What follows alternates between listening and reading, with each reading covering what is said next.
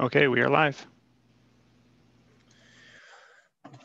Okay, ladies and gentlemen, uh, we are expecting a few more counselors to join the Zoom shortly, uh, our virtual meeting, but uh, I will call the general committee meeting to order now as we do have quorum. Of course, due to the COVID-19 pandemic, council is practicing physical distancing. Uh, general committee and uh, members of council, executive management, the city clerk are all participating via video conference. Senior leadership team uh, members who have items on tonight's agenda are present on the call but not visible and are available to answer questions to help council with our deliberations. Uh, we do have a presentation tonight, which we'll do right after the consent agenda.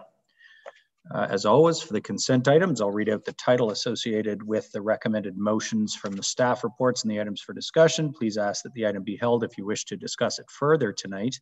If the item's not held, the motion printed on the agenda is deemed to be approved on consent and will go forward to City Council at our next meeting for consideration. Uh, we do have a report of a reference committee tonight. It's the City Building Committee report from November 3rd. That's to be received. City Building Committee has recommended the following motions. Uh, first, regarding investigation of the road conditions on Jean Street and Tyndall Road. No holds, that is approved. Next item is uh, motion 20G 172, referred by City Council dated October 26. This is with regards to the surplusing of city-owned property on Vespra Street. No holds, that is approved. Uh, we have a municipal her uh, heritage register, excuse me, heritage registry listing. That's for 50 Tiffin Street. No holds, that is approved. And uh, a heritage registry listing for 56 Cumberland. No holds, excuse me, no holds there, that's approved. Uh, the staff reports this week. Uh, first, we have the tourism master plan. Uh, if a member of council could hold that. Hold it until after the presentation. Yeah, thanks, uh, Deputy Mayor Ward. It's held. Uh, the next item is the business plan status as at September 3rd, 30th, uh, excuse me, also known as our third quarter report. Hold. Held by Councillor McCann. Yep. Next item is with regards to the deputy mayor position. No holds. That is approved. Uh, finally, we have the investigation of Girdwood Drive on-street parking restrictions staff report. No holds. That is approved. Items for discussion. We have four on tonight's agenda, uh, all investigation for reports back. Uh, the first put on by Councillor Aylwin is with regards to an all-way stop at the intersection of Owen and Wellington. No holds, that is approved. Second is the investigation, uh, investigation into the potential establishment of an Arts and Culture Advisory Committee. No holds, that is approved. Next, we have the investigation uh, and investigation of enhanced safety at the intersection of Shirley and Ann Street. That's put on by Councillor Thomson. No holds, that is approved. Finally, the investigation into implementation of a minor grading bylaw. That's also put on by Councillor Thomson. No holds there. That is approved. Okay. So uh, the two items held, the first is the tourism master plan, which is the subject of our presentation tonight, and then the third quarter report. Uh, so with that, we'll move straight to the presentation. Stephanie Schlichter, our Director of Economic and Creative Development, is with us to provide the presentation on our new tourism master plan. Ms. Schlichter, the floor is yours. Thank you. I'm just sharing my screen here.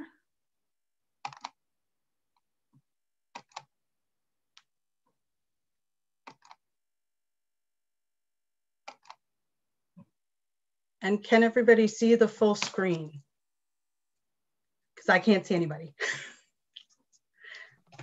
okay. Not yet. Not yet. We can't see it yet. It's not being shared. Hmm.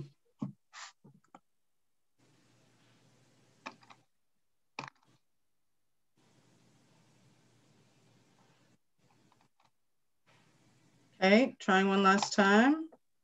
Ha ha. There we go. Okay. Sorry about that.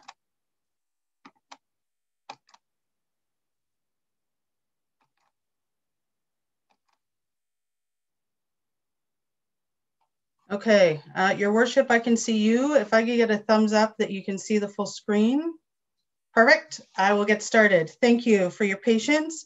Uh, and thank you, your worship and members of council for allowing me to present the tourism master plan today. The tourism master plan came as a result of council direction that was in conjunction with the approval for the municipal accommodation tax, which is intended to provide both the city and destination marketing organization, which for us is Tourism Barrie, with a stable revenue stream generated from tourist activity.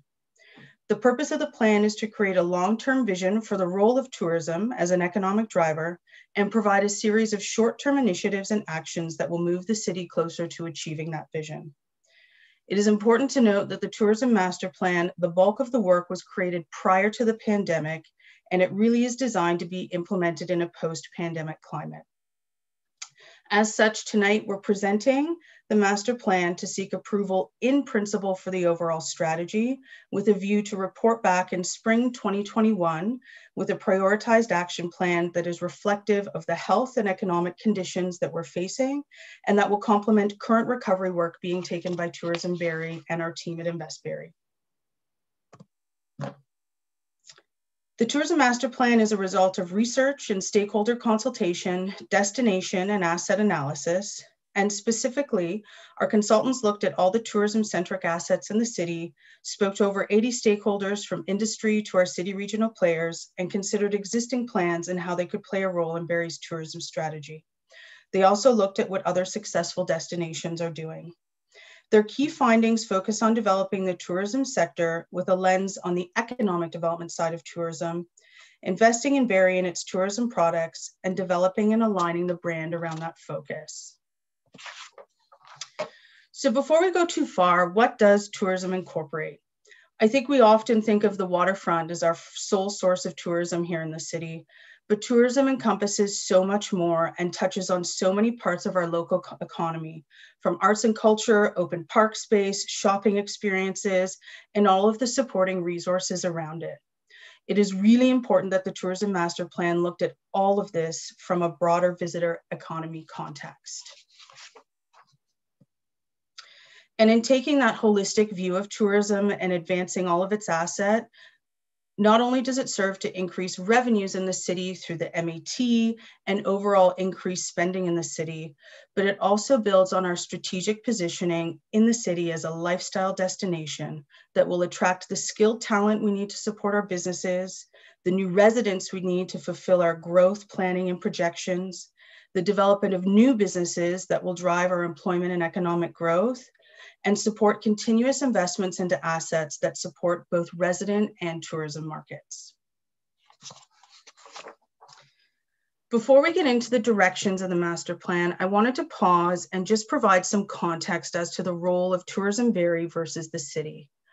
Tourism Barrie is considered the destination marketing organization, and their key goal is to serve as the city's official tourism marketing agency.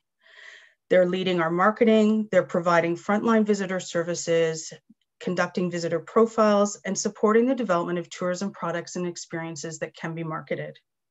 This is in line with the province's legislative mandate that 50% of the MAT go to a destination marketing organization. And the role of the city is really to be the driver of that tourism strategy if we are to build the economic impact of the sector. The role of the city is to provide that leadership on direction, bring the tourist lens to our municipal policy and practice, as well as our, as well as our infrastructure assets that support the tourism economy, as well as resident, residents, and to really invest accordingly. The overall strategy that the consultants identified are bundled into three categories. Building the destination, which focuses on infrastructure, policy, strategic directions, much of which falls under that city responsibility delivering the experience, which is the actual delivery of the service, and then telling the story, which is the marketing and positioning component of the strategy. From there, our consultants identified eight growth opportunities for our destination and an associated set of recommendations in support of those growth opportunities. I wanna make two points here before we move on to those highlights. One, the co consultants have clearly identified that the GTA Greater Golden Horseshoe Market is our key market segment that provides the greatest opportunity to build our activity and spend. And second, the waterfront here is identified as a key strategic asset. However, it's important that we look at the waterfront as more than just the waterfront. It's about managing the destination uh, and that drives tourists to a complete experience beyond just the waterfront. So whether that's coming downtown, shopping, dining, renting equipment to go through our park space, taking in a show, there's much more to draw tourists and tourists spend to the city. Uh, throughout the, the full master plan, of course, is in the appendix to the staff report, and there were 30 recommendations that came out. We wanted to highlight the top 10 and those that really fit into that phase one, phase two of the implementation. And the first step is really for the city to identify tourism as a priority sector. This ties directly into Council's current strategic priorities that speak to supporting the growth of the tourism sector. And adopting the master plan this evening will establish that direction. And in order to really execute on the recommendations and bring that tourism point of view to internal functions and other key sectors, including our arts and culture community, the city needs to have a dedicated resource to support the implementation program for the tourism master plan and be that conduit between City Hall and Tourism Barrie. Further, the consultants recommend ensuring that the MAT revenues remain focused on tourism and suggest the creation of a tourism development fund to support tourism initiatives. The city also has a strong support tourism base to build on and has recommended that the city and Tourism Barrie to continue to develop a sport tourism strategy that looks beyond hockey tournaments and starts to look at all season and shoulder season sporting activities, which also ties into the recommendation that we look at year-round assets leveraging our outdoor spaces. It was also identified that there is opportunity to support visitor-focused arts, cultural, live events, and really strate strategically position the area as a hub for the arts, including concerts and live theater. And this also leverages some of the uh, other area attractions in the broader region, including Burl's Creek. Uh, tied to that event or that live event recommendation is the Fisher Project that in its current form seeks to deliver both a theater and conference style meeting space. I wanted to provide some clarification that the scope of the work for the Tourism Master Plan does not contemplate whether or not the WA Fisher project should proceed, but rather looked at the strategic opportunities and market demand and specifically what was important in a conference space. The consultants confirmed that there is a market demand and opportunity for business meeting and conference space driven by our proximity to the GTA, as that will likely be our largest target audience. Uh, and we are likely to attract more provincial conferences and meetings. The ideal space size would likely accommodate 300 to 400 delegates and would require some of the traditional spaces associated with a conference, such as breakouts and crush space and larger um, trade space. A key criteria to the success of any conference center is going to be a hotel on property or in close proximity. And further, consultants felt that the downtown provided the greatest opportunity to link spending with the tourism community. Taking all of this in, staff will be reporting back on the W.A. Fisher Auditorium project, independent of this report in the coming weeks.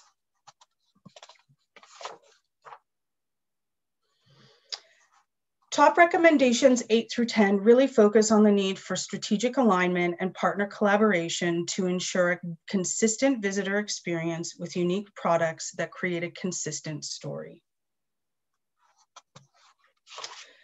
And finally, as we look to prepare a prioritized implementation program into 2021, our consultants provided some guidance and some insights on what they thought some of the short-term short wins might be in recovery for this sector. Specifically, the GTA leisure market provides the largest influx of visitors into the Barrie area and will continue to dominate Barrie's visitor attraction efforts post-COVID aimed at increasing present day volumes. Markets within a three hour radius provide a great opportunity for overnight visitation, along with sports and really driving the outdoor activity opportunity for those visiting. We believe the Tourism Master Plan will guide the city into strengthening the role and contribution to the local economy, and we welcome your questions. Thank you.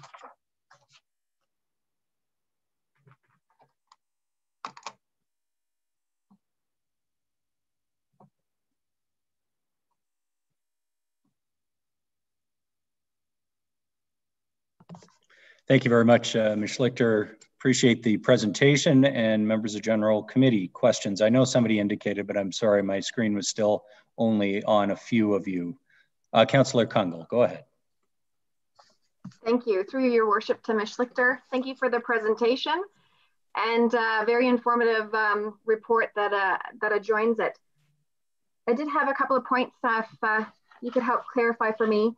From a stakeholder engagement uh, and next steps, I was reading in the report that you had a tourism working group that was established with different representation between city staff and departments, and that this five-year plan um, really looks at leveraging sport, nature, and business uh, tourism. I was wondering if you had a particular individual that was uh, giving advice on the nature aspect that was external to staff.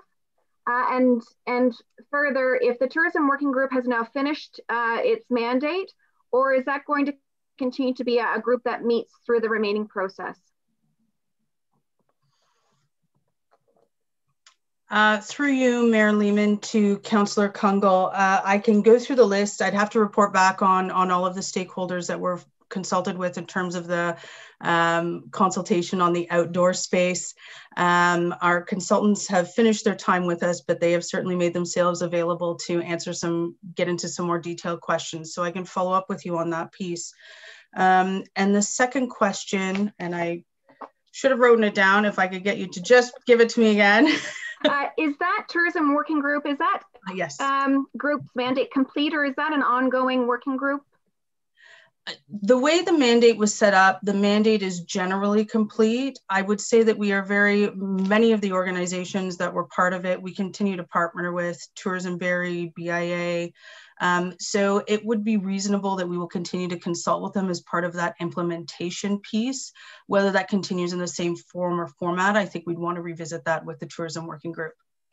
Fantastic, thank you. And, and uh, um, an additional question. So when we talk a bit about uh, and in the documentation, um, broader than the presentation, uh, you know, the references, the tourism industry is really our visitor economy. And so I know COVID is, you know, an atypical planning component, but when I think a bit about this past summer and changes we made for the safety of individuals, you know, we looked at our residents, I would say, as, um, you know, support local and how do we, you know, kindly uh, put a pause on attracting some visitors. And so wondering if we're going to see a negative impact of receiving people back. I don't think so. Um, but um, wanted to also ask about how are we potentially looking at tourism differently around our residents actually supporting a lot of the tourism industry, uh, perhaps in the next year or more? And do we look at them a little bit differently through the learnings of COVID, especially through your business meetings around uh, you know, the impact from arts and culture, and you've had great stakeholder um, feedback sessions. And um, I believe that's informing this, but wanted to know if, you know, we're shifting the focus on how reliant are we going to become on our residents to support that uh, kind of the tourism and local business and local economy for, for a bit, or are we still making assumptions about, you know, visitors really driving um, the, the, the tourism economy? Uh, through you, your worship, to uh, Councillor Kungl. I think currently um, it's a, a, a, bit of a mix, to be quite honest. If we take a look at what the tourism uh, sector has been reporting, especially over the past summer with some of the open space and even in dealing with COVID, we are a natural bit of a destination to access that open space. So there is still that element that exists. On the same note, um, I think having our residents in experiencing local where they might have gone to another community is also an opportunity. And I think we're promoting that as well. Come explore. Um, we did a promotional video session talking about some of the unique shopping destinations that are here with some of our unique owners, owners to try and draw some of that out. So I think it's a mix and I think it will continue to be a mix. Great. Um, uh, one other question.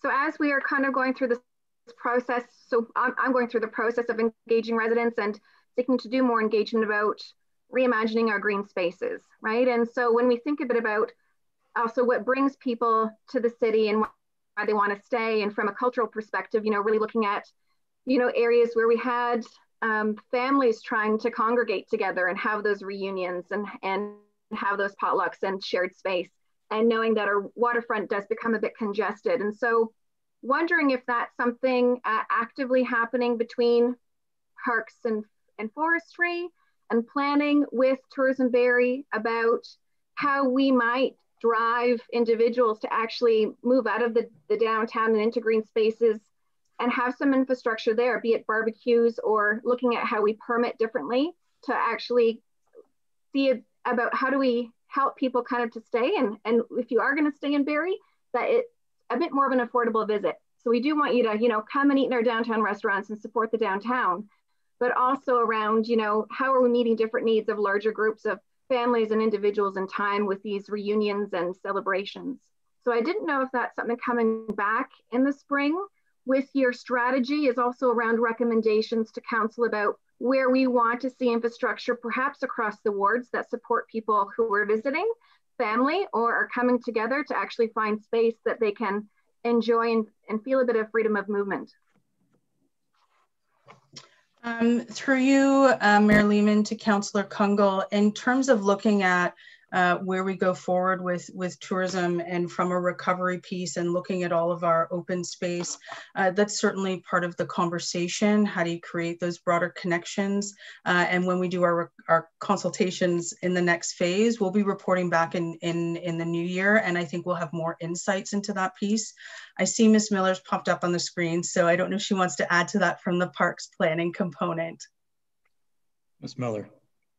Thank you, Mayor Lehman, uh, through you to Councillor Kungl. Uh, in addition to the work that Economic and Creative uh, Development will be doing with respect to the tourism master plan, there is work that is happening, as you know, on the waterfront um, uh, topic that consultations will be happening at the end of the month. And then there will be ongoing work that will be reporting back to you in the spring with respect to some of those topics that you've talked about. Where can we encourage and how can we encourage um, um, shared use of, of our public space? Brilliant. Thank you all for there for other questions from others. Thanks, Councillor Kungl. Other questions of Ms. Schlichter? Councillor McCann.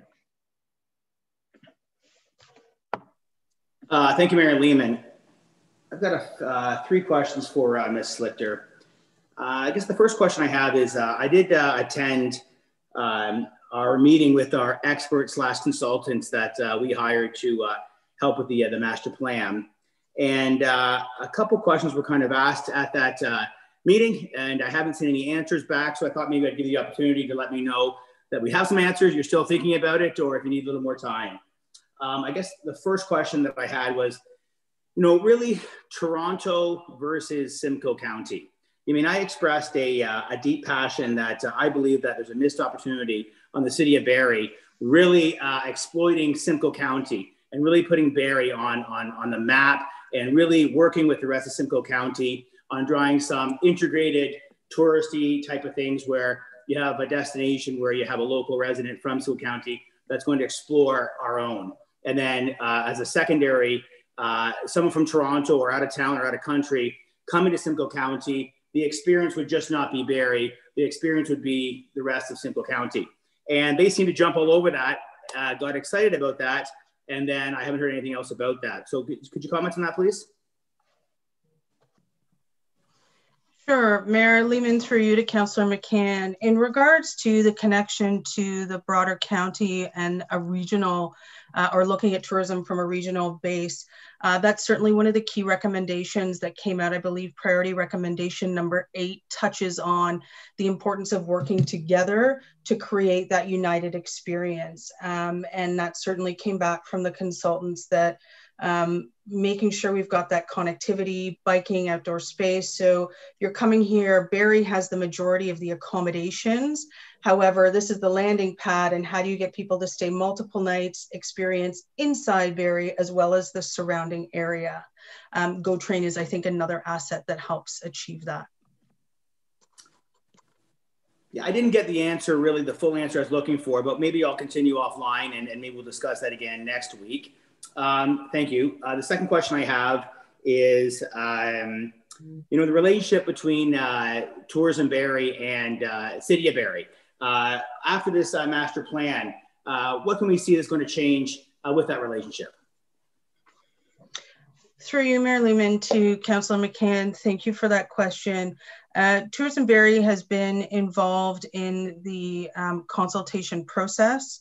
Um, they are currently our source for the MAT. I think you will continue to see the strengthening and definition. I think having a defined role for the expectations of Tourism Barrie, a defined role for the city, um, and if we're able to implement some of those recommendations, you've got a stronger conduit between the two.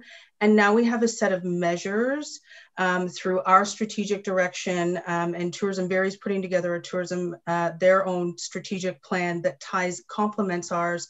So I think you will see uh, an advancement of, of, of the relationship and working together towards a coordinated set of goals. So I think it's a strengthening opportunity and an opportunity to provide more accountability to both parties. Yeah, I mean, I couldn't agree more. Uh, for those who uh, don't know, uh, Todd, uh, I'm going to sabotage his last name. Uh, Jenny Rowe, he's executive vice president of Burl's Creek Event Center. Uh, he's expressed a great deal. He wants to get more involved uh, with the city of Barrie, with Tourism Barrie, which uh, is, a, is a major plus when it comes to Tourism Barrie. Uh, Jim Payetta, which is the co-owner of the Barrie Colts, is another great uh, person to the board. we've also got Louise Jackson, who's now the new president, and of course Kathleen Trainer, and there's a few more and I really would like to see the strength from both parties, uh, you know, uh, moving forward. So I'd like to get more involved in those discussions. So I'm glad to hear that, Stephanie. And last question I have for tonight about uh, the um, the official plan for the uh, the tourism is uh, Fisher Auditorium and uh, the next report that's going to come out in two weeks. You know, there was some great deal of conversation at our meeting with our experts, with our consultants and I just boldly asked, you know, is this the right decision? And, uh, uh, you know, if, if they were in my position, would they be voting in favor of the Fisher Auditorium? And quite frankly, the answer was no, that this is not the right direction to go on. And then I asked about, well, has there been any consultation with the smart centers and maybe putting a event center who has a hotel already in the smart center, which is only, you know, uh, seconds away from uh, where the Fisher Auditorium would be. And uh, they kind of lit up and said that'd be a great idea. So I'm not really looking for an answer tonight from you unless you have something. But what I would like to see in two weeks when you bring the Fisher Auditorium forward is that you dive a little deeper and give a little more answers to the smart centers and uh, maybe amalgamating and integrating a convention center uh, at the smart centers. And, and if, at least just letting us know what update us on the conversations that you've had with the smart centers. Thank you. Um, Mayor Lehman, through you to Councillor McCann, um, previous direction was that we we have a conversation with Smart Centers to explore what the opportunity might be. Um, we will be doing that as part of our report back. Um, to get into any depth of conversation will require more direction from council, but we certainly will have some preliminary conversation or preliminary feedback to offer. And I, I can uh, Thanks, Councillor McCann. I can just add to that answer. Um, because of Council's direction and interest, I had that conversation already uh, with Paula Bustard, who's the VP from Smart Centers in charge of development. Uh, we wanted the, the Barrie project and we wanted to uh, set up a further conversation with the Invest Barrie staff so they can talk about uh, the, uh, the potential on the site. Um, you know, I'll, I'll, let Ms. Schlichter report back, but uh, my understanding is a full-size conference facility is not in the cards for smart centers, uh, both for parking and development interest reasons. Uh, but they would be happy to partner uh, or speak with the city uh, with regards to their plans for a hotel and the potential for a facility in and around the downtown core. So um, you know, I think uh, smart centers can provide a more formal response to general committee and uh, Ms. Schlichter obviously has a conversation, which I think is teed up for the next couple of days.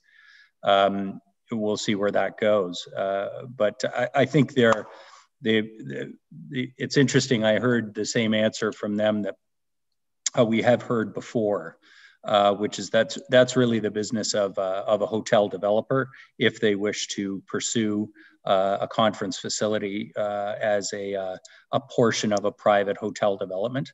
Um, and in some cities, we've seen that happen, and in other centers, Ottawa, Hamilton, a few others, we've seen the municipalities be involved. But it's it is uh, a discussion that um, um, I understand is going to continue, at least the form of potential partnership with Smart. It makes perfect sense that across the street with a, a hotel already planned for their development, um, whatever might happen, uh, whether a Fisher project proceeds or not, uh, they would be closely integrated with our efforts to grow tourism in, in Barrie.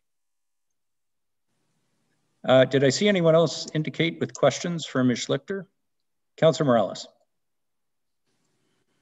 Uh, thank you, Mayor Lehman. Piggybacking a bit on uh, Councillor McCann's question about an integrated tourism uh, strategy uh, for with the county. Um, I think the, I think the word Councillor McCann I meant to use was leverage the county, not uh, um, earlier on that. Uh, Ms. Lister, would you think that the existing, I know council, we approved um, my amendment to the uh, parking pass. So kind of doing that pilot project for Simcoe County residents, Springwater, Oro, Innisfil, a lot of those neighbors who, you know, they spend 90% of their lives in Barrie, uh, go to our Barrie grocery stores, uh, go to our restaurants, but just happen to live uh, just outside. I, am not sure if we included uh, uh, Essa Township because they don't have a body of water. Do you think that a, because uh, you talked about Go Train, do you think that a uh, the continuation of that pilot project um, in a more permanent role would help assist attracting those uh, uh, uh, Golden Horseshoe, but specifically Simcoe County potential tourists um, if one of the strategies in addition to Go Train was the parking pass. I'm wondering if that would make it easier. you're unable to comment at the time because you haven't measured it or would have no net effect. Uh, through you, your worship, to uh, Councillor Morales. Uh, certainly number two in the sense that we need to go back and measure. Would we look at that as part of the implementation program? Um, that's something we could consider in the bucket. Perfect. So I guess this would just kind of be general words. I don't think there's, there's an item for discussion, but if Miss James Reed is uh, listening, um, or even if she's not, you can bring this back to her. Maybe those uh, pilot passes can be coded somehow differently, have a different number, uh, when they're issued uh, in our database, they can be tracked. Um, and then we can kind of have an idea on when our bylaw officers, if that's even possible, when they're doing their rounds in future months, they can see, oh, look, the out of town pass is being used. And uh, while we may not be able to know how much they spent unless we do some sort of survey, we at least know uh, and can quantify number of use. Uh, and hopefully that, but again, I'm not a statistician, so I'll just kind of give some general direction. And again, the better data, uh, especially for Simcoe County tourists, the better. Thank you.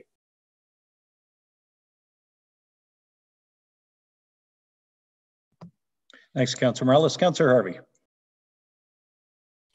Thank you, Your Worship. Um, I know our uh, hotels uh, here in Barrie through uh, through the summer have done extremely well in comparison to uh, our comparators when you look across the province and even nationally. Um, and it's great that we have this plan moving forward, but uh, how, how, do you see the implementation potentially being affected? Uh, obviously, because we're we're in the midst of a pandemic, or do you not see that as uh, as being a potential uh, hurdle? Through Mayor Lehman, to Councillor Harvey, uh, this uh, part of the reason why we delayed putting together a timing for a recommendation program is specifically to your point is that um, we as a city um, and overall provincial health guidelines need to have us in a position where we are ready to welcome back visitors um, and how that evolves and in what format I think is still being uncovered. Uh, we are going through our second round of consultations. So we are hopeful by spring of 2021, we will have a better sense uh, of where things are at or you know some some key points that we can go forward. So the whole point uh, or the whole our going forward implementation will really take a look at the program in context with what's happening from our pandemic recovery and make recommendations accordingly. I'm not sure if that addresses thanks a lot. Yeah, no, I just wasn't sure if uh, certain things had already been recognized, but yeah, obviously we're having to be very fluid with many aspects of our even our day-to-day lives uh, as a result of uh, covid-19 thank you uh, others who have questions for ms schlichter councillor Riepma. Thank you, Mr. Mayor. Um, and thank you, uh, Ms. Schlichter, for your um, presentation. Um, I, I, think there's no doubt that uh, tourism is a really important piece of our uh, economy here in Barrie. Um, and I, I, looked at the report with some interest um, in the in the area where uh, it suggested that we should be looking at sports and culture as, as sort of one of the drivers of of, um, of tourism growth. Um, and of course, the very first thing that I thought about was, well, you know, are we looking at then a 50 meter swimming pool and a competitive pool? Are we looking at a conference center? Are we looking at a theater? Um, and all of those uh, had some big price tags attached to them. Um, so I'm just, my question is, do you have any sense of, of any low hanging fruit that we uh, can pick early on without having to spend a lot of money?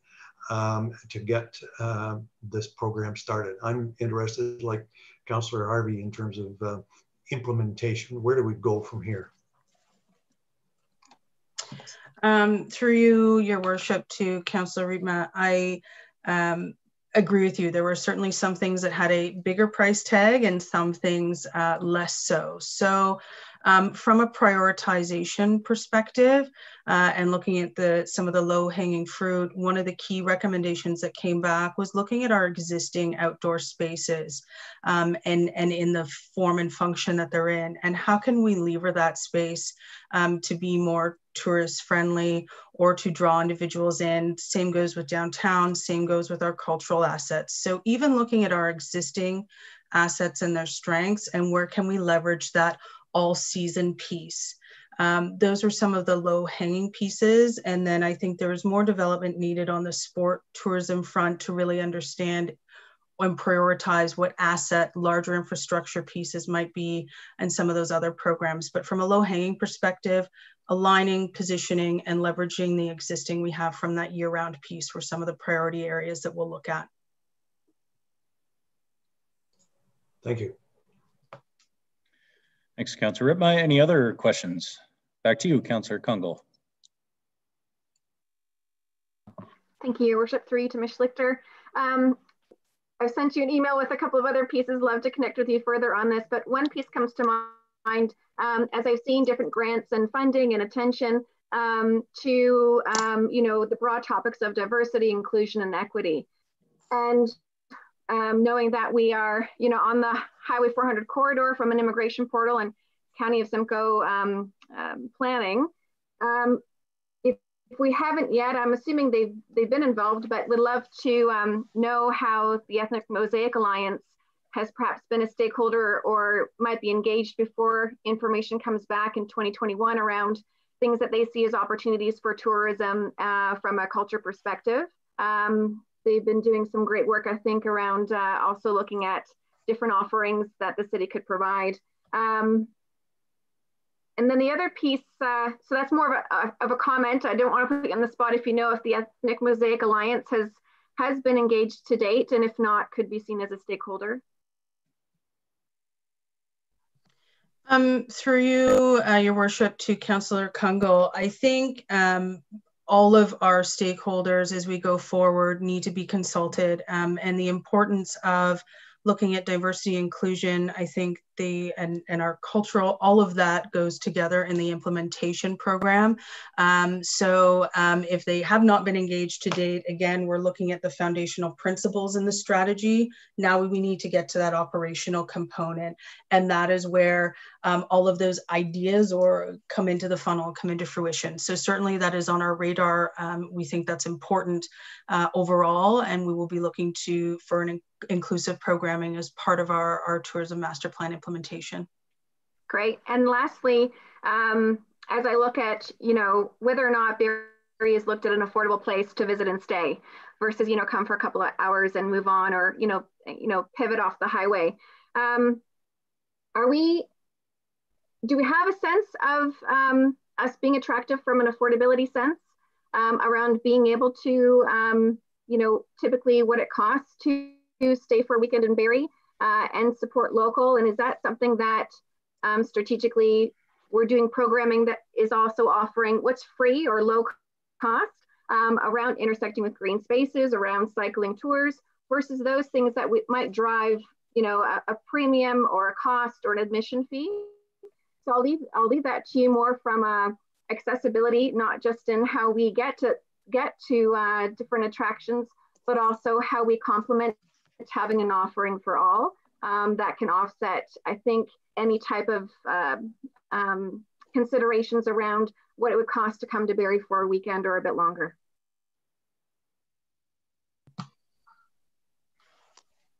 Okay. So leave it there. I'm uh, assuming there's a mixed, yeah. Um, through your worship to Councillor Kungl, a, lot of that, I would say, data analysis comes through the marketing programming through Tourism Barrie.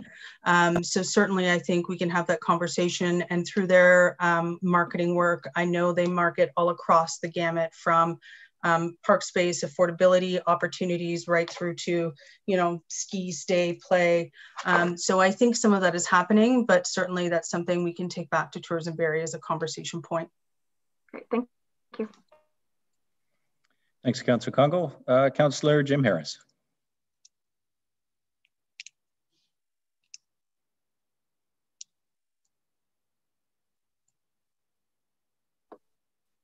That took a while, sorry.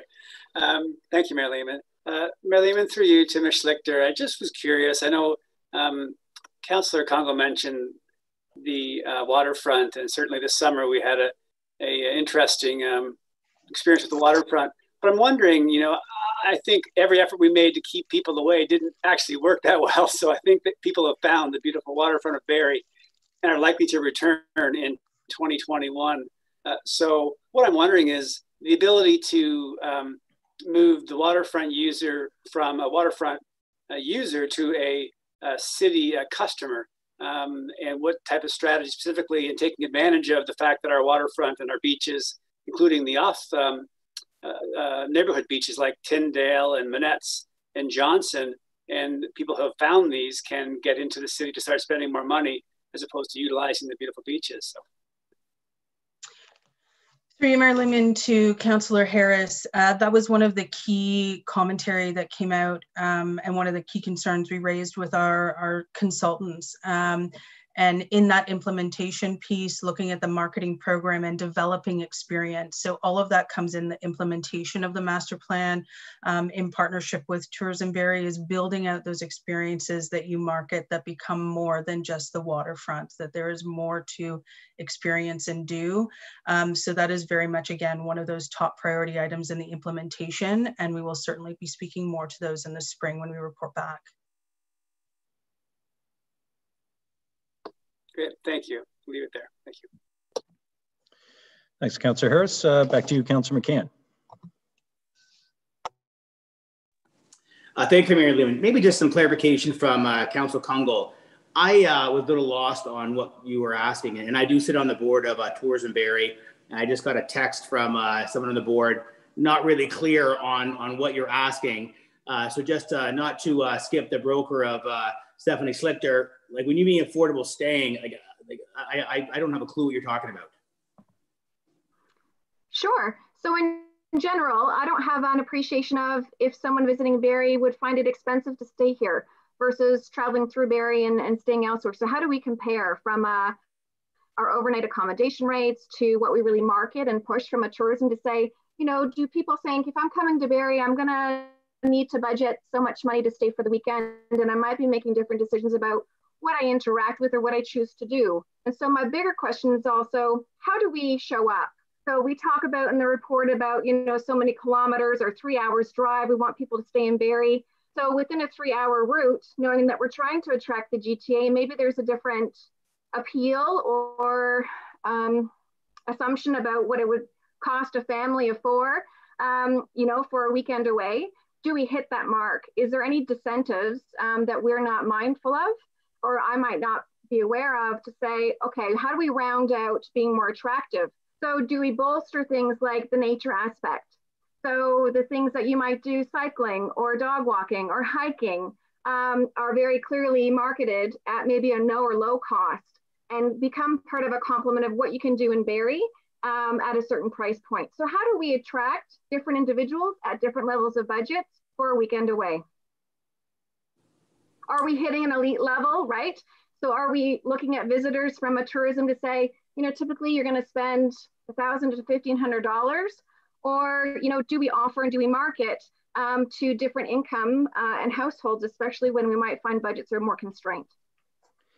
So since we're just on the questions on the presentation at this point, I'll just ask Ms. Schlichter. I mean, I know there's some data in the report, I've forgotten where, on our average uh, room rate. By memory, Barrie's is a little below the Ontario average, well below certainly GTA rates. But is there information in the uh, report or informing the strategy on whether Barrie should target you know a low cost uh, destination market uh, higher cost and, and where we sit in the market today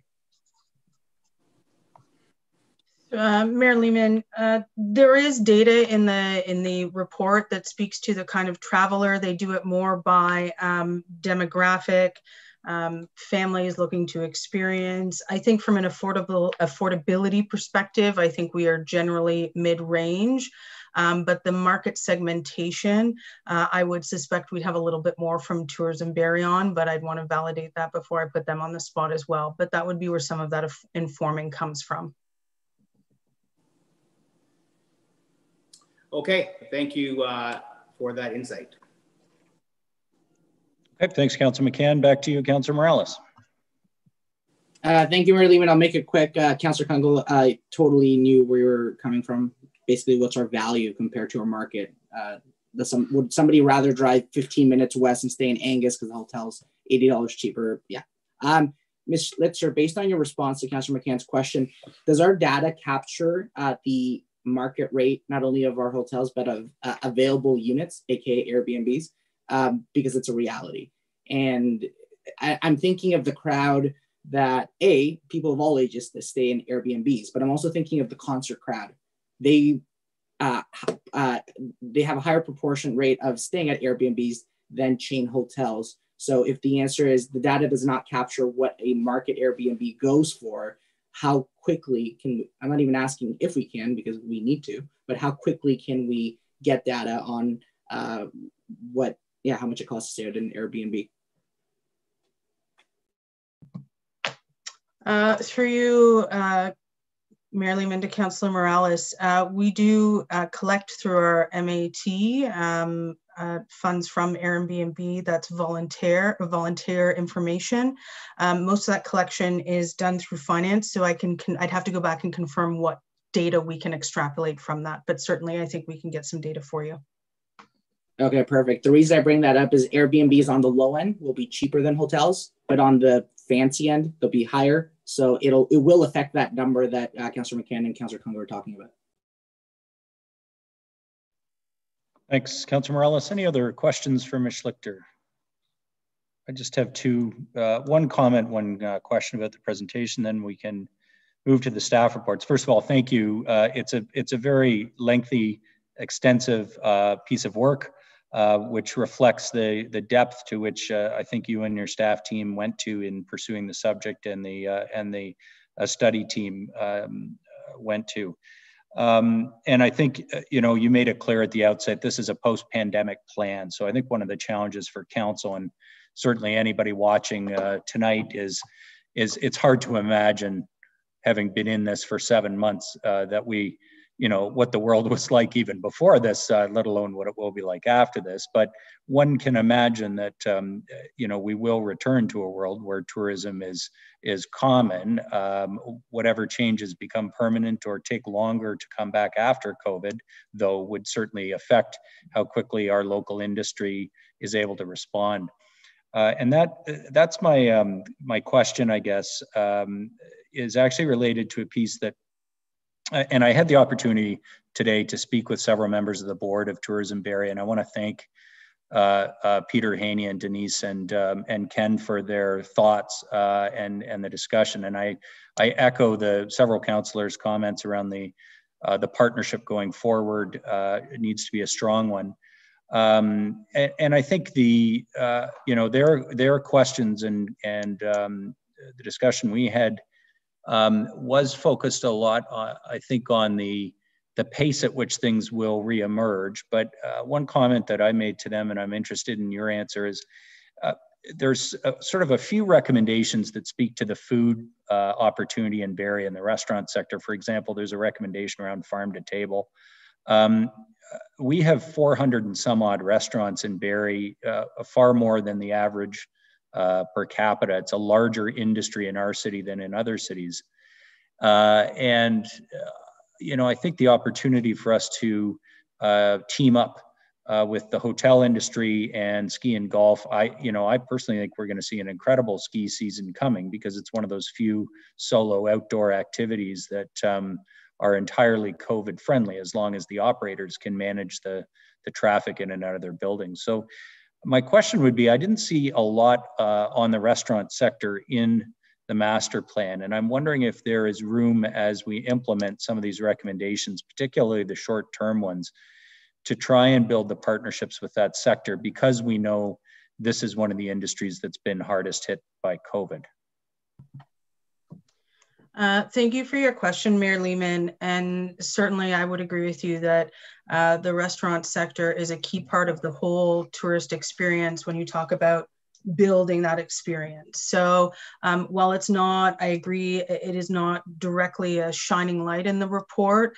Um, it is one of those underpinning assets that go into your um, developing the experience. And we would certainly work through implementation to, to look at that. Uh, we are also currently exploring some co-programming and opportunities to leverage uh, funding to also provide some additional opportunities to support those hard hit sectors in tourism uh, with safety protection and some other items. So uh, I'm hopeful that we will um, have some other things to report as part of that implementation piece. For sure, and I, you know, I think coming back strong for that sector in 2021, if we assume that things start to return to normal uh, sometime in the spring, summer of 2021, uh, we have such a, a, a great um, fundamental or base to work from in terms of the new Dunlop Street, the strength of uh, South End restaurants with the growth of Park Place. Many of them have invested in patios and outdoor dining. I think there's a, a, real marketing play there that teams up some of the strengths that are in this report, the sports tourism, uh, the waterfront, with uh, with the restaurant experience. And and I must admit here, for our independent restaurateurs, who maybe have a little less marketing budget or bandwidth than say somebody who's part of a, a franchise or a corporate store. Uh, I think that could be particularly important. Um, the only other comment I wanted to make is I, I, really did appreciate that we, in a way, went back to the sports tourism piece, which has been a few years since uh, Barrie City Council took a real hard look at that. And uh, uh, of course, the, there was at one point a committee that was meeting and, and looking at that opportunity regularly. And I think it remains a, an opportunity. I, um, I wondered, actually, I'll ask you the question. The, the South Shore and um, one comment I, have heard uh, from both residents and councillors is the central waterfront is becoming, you know, quite congested between boat traffic, people using the beach, and the other uh, water water sport opportunities that are already along the, the central waterfront. Did we look at, at the other portions of the waterfront for some of those opportunities? And, and obviously, the potential, ex for example, to add a boathouse at the South Shore uh, which could be uh, a center for, I mean, it already is the canoe and kayak uh, club's home. Um, I know that there are some folks in the business community who think that there are other uh, non-motorized water sport um, uh, facilities that could go into that that kind of a facility. Did you, was that considered as part of a master plan? Uh, Mayor Lehman, there were elements in terms of looking at the waterfront and waterfront experience in terms of what um, is are some of the gaps in terms of rentals and opportunities. So that was identified. Um, certainly looking at the sport tourism in a broader context, um, they do recommend, we've done some asset assessment work, but it's actually looking at the shoulder season piece and what opportunities exist there. Um, and there was a strong feeling from one of the consultants who is a sports specialist that we do have quite a strong base um, that for maybe some of the non traditional sports we have in the top of our head is our, our top ranking hockey being one of them um, that there would be some other opportunities to leverage things that are outside of those peak seasons and drive more to our accommodation and where we have more capacity to support okay thank you very much and thanks for the presentation Uh, and again, thank you to staff and the consultants, and also, of course, all the stakeholders. You know, it was uh, uh, Tourism Barrie played a big part, but there uh, there was an entire industry here that um, are participated and gave you their thoughts. So, uh, on behalf of council, I'm sure, uh, please pass along our thank you to them, and of course to your team. And with that, we move right to that staff report, which Deputy Mayor Ward you held, so that we could have this presentation. So go ahead. I will put it on the put it on the floor, and I do have a couple of comments about it. Go ahead. The uh, I really appreciate that we have this uh, strategic plan for our tourism. I think it's the you know the thing that you hopefully people will take out of it is how important tourism is to our local economy, both in what it already is and what it could be and what it should be. Um, I think it's very important that we act on it. Um, I've got some minor quibbles. There were some minor mistakes in it. There were spelling mistakes in it, and uh, maybe I can call them errors of omission, which kind of bothered me when I read it. And I can talk about it later. Um, but overall, I found it very useful, and there was a lot of good data. I mean, even the fact that I think it mentioned there were 600 Airbnbs in Barrie, which surprised me. I didn't realize there were that many in Barrie already. Um, and uh, so I'm looking forward to the action plan when it comes forward next spring. I do have one question um, I thought I'd ask it now since I held the item. I knew I was going to get a chance to speak. And that's on the uh, strategic direction number eight, which is the USP, another term I never heard before, unique selling prop, proposition. I thought it was preposition, but it says position here. Um, I'm not quite sure if that's the same thing as branding. And I just wanted to find out how that comes about. How are we going to get that USP? Is that going to be, we're going to sit down and do it? Is it going to be staff driven? Where are we going to get that? It, I wasn't clear from reading the report where this USP was going to come from in the future, how was, how we were going to arrive at it. Is is the same as branding? I wasn't quite sure. First, maybe that's the question first. Um, through you, Mayor Lehman, to Deputy Mayor Ward. Um, their recommendation was really first we need to start from an alignment perspective between Tourism Barrie, BIA, the city, um, on that messaging component uh, that does comprise a piece of the, the brand perspective. Um, from there, I think we need to determine ourselves whether we need to go a step further and do any further branding or whether between um, the work that has already been done uh, that we're able to define our, our, our unique selling proposition, which is very much what is our value, what is your reason for coming, and, and certainly ties to brand. So um, I would say from an uh, implementation perspective, and that's why you didn't get a clarity of direction, um, is that we need to first start with alignment on our message, um, and then I think build on that piece from there. And I know that um, the BIA is working on an exercise as well around their brand you anticipate we're going to actually come back with a, a slogan? I, I, I promise Councillor Morales it won't be well played. Are we going to come back with a, a slogan or something to brand us? Um, through you, uh, Mayor Lehman to Deputy Mayor Ward, I think we first need to start with a commonality of messaging. Um, and I think from there we can determine whether a slogan is really the best way to go or whether there is enough uh, diversity in our messaging that you stick with core messaging as opposed to a singular slogan. Okay, thank you. Thanks for that, uh, Deputy Mayor Ward. Any comments on the staff report? The motion is on the floor. Okay, seems everybody asked their questions uh, during the presentation. So uh, I will call the question. Uh, those in favor of the motion on the floor, please indicate. I am as well, which makes it unanimous. Thank you, Ms. Schlichter. Thank you, uh, members of staff, and uh, uh, that will go forward to council next week for final approval. Uh, the other item that was held was the business plan status as at September 30th, 2020. It was held by Councillor McCann. Go ahead, Councillor McCann.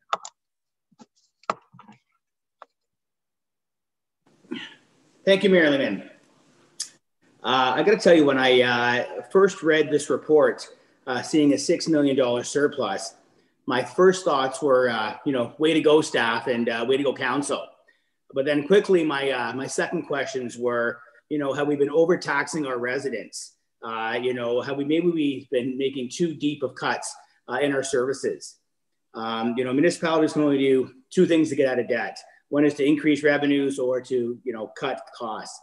And uh, I think staff, you know, with the limited time that I've read this report, unfortunately, uh, uh, Director of Finance Craig Miller and I have not connected, which we will connect during this week. Uh, but uh, just how it stands, it looks like, you know, uh, we've recovered. But what I would like to just maybe get a sense from Mr. Miller through you, Mayor Lehman, is my understanding is back in, in March and April, you know, 10, 11 months ago, that we were uh, planning on having a $60 million debt, you know, because of COVID-19. And once again, you know, we weren't about to increase revenues in the time of COVID-19 but we were in the plan of cutting costs. And that's what staff and council have done is cut costs dramatically. And uh, I believe it was, uh, you know, five, six or seven weeks ago that uh, there was going to be a $2 million, um, you know, uh, loss. And, uh, and I just was kind of curious on, um, on, uh, you know, the report says we're now $6 million going to be in the surplus. And then I believe through some, some talks with Mr. Millar, that uh, by the end of the year, we're going to be sitting up somewhere between 1.5 and uh, 2.5 million dollars in the surplus. And I'm just a little curious on why the big variance. And uh, our EMT, I thought that program that we spent millions of dollars on uh, really uh, narrowed down uh, what our financial strengths and weaknesses and risks would be. So maybe if Mr. Millar, through you, Mr. Mayor, we could maybe just get an explanation on my timelines, on my thoughts, and uh, maybe uh, clear up some of the uh, some of the fog. Mr. Millar. Uh, through you, Mayor Lehman, to Councillor uh, McCann. Um, there's a lot of questions in, in that, so I'll kind of just piecemeal it a bit. Um, the, the, reference early on, if uh, you'd reference the $65 million deficit, it wasn't a deficit. It was at the time when COVID hit way back in March we didn't know who was going to pay their property taxes, who was going to pay their uh, um, wastewater bills. So at that time, looking at some experts were sort of suggesting that there could you could see up to 25% of people or businesses not paying. So what that 65 million was was a forecasted receivable that we were saying by the end of the year, if 20% of the folks didn't pay, we would be we, we could be at that level. Fortunately, um, that was before any stimulus money was announced, uh, any federal funding programs like the, the CERB. So fortunately, that hasn't materialized. In fact, we've seen a pretty robust return on people paying their taxes on time. So from a cash flow standpoint, that's that's the lens that we were looking at. Uh, from a budgeting standpoint, so this this was as of September 30th, uh, where we're called at that time tax supported uh, um, rev, uh, uh, the budget at that time for tax supported services was showing a, a surplus of $6 million. Now, if you read the report, a lot of that's driven by salary cost reductions. So a lot of people were laid off, um, services were reduced. Um, that contributed significantly to the overall impact. As well, because of COVID, some work, minor work had to stop, um, which is now happening later in the year. So while it had 6.6 million at the end of um, September, the number is coming down. So, for example, um, uh, on the parking side, we know we're going to have about a million dollar parking deficit. We know the county of Simcoe is going to require anywhere from 600,000 to a million dollars more from the city this year to pay the, uh, our costs of the uh, long-term care uh, additional costs they're experiencing. So as we get towards the end of the year, I anticipate that as, as the report sort of suggests, we'll be closer to uh, breaking even or in a deficit position. Uh, what you will see when we report on the year end number is that the city um, will allocate out the phase two, sorry, the phase one funding we got from the province.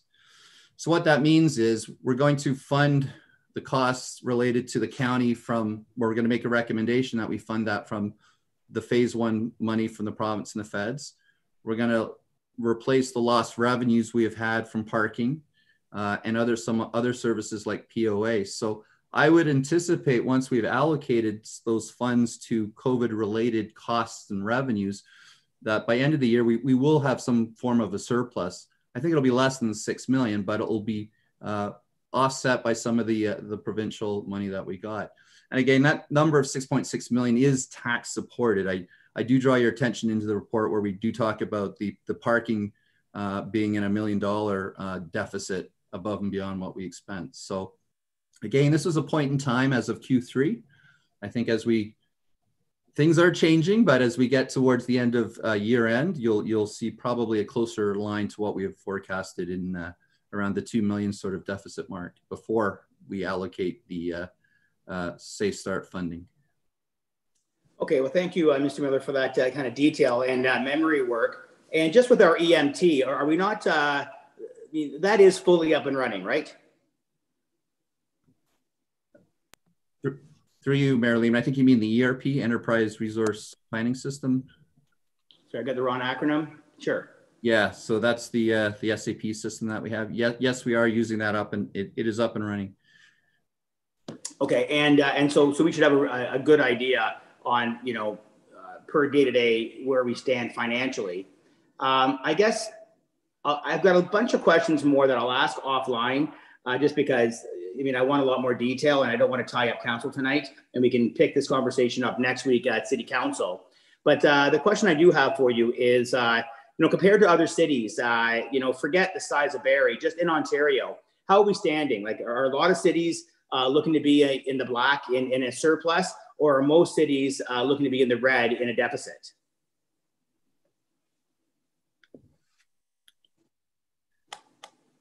So, Mr. Millar. Uh, through you, Mayor Lehman. Um, it really depends on what services they provide, Councillor McCann. So if you look at the large transit system, City of Toronto, uh, they're bleeding a lot. Um, Mississauga, those that have really seen a complete dry up of their, their, their transit services are hurting.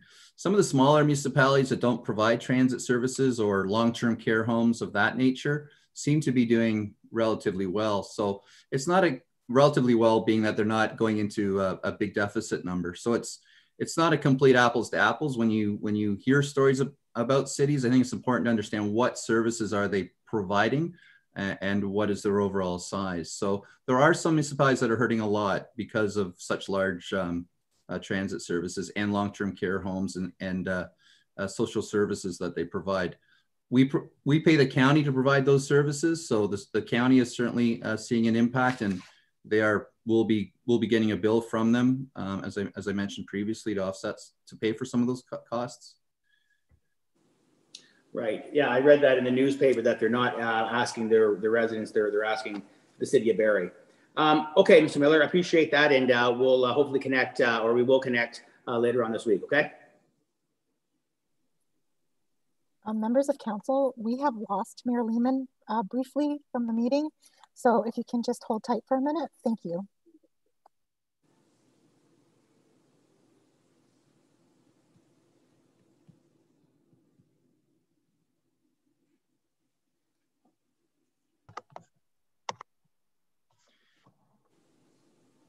Well, it wouldn't be a Barrie City Council meeting if I didn't have a technology problem of some kind. Um, welcome back. Uh, my apologies. Councillor McCann, you were in the midst of talking uh, did you ask a further question of staff? Where do, where do we sit?